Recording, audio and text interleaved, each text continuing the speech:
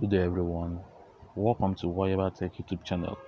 In this video, I will show you how to copy message link on Telegram group. So to do this, open your Telegram app on your phone. Then go to the message you want to copy its link. So I'll be using this one right here. So tap on the message then click on copy link. So right here i'll just copy this message link. So you can paste this message to any member in the group. You can post this link to any member in the group. So let me select a member. Oh, oh, oh, oh, oh, oh, oh. oh. let me just select a member. Send.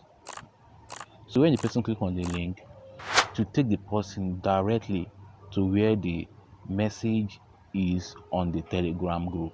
So when the person click on it let me click on it right here. As you can see it take me direct to the group and where the message is on the group.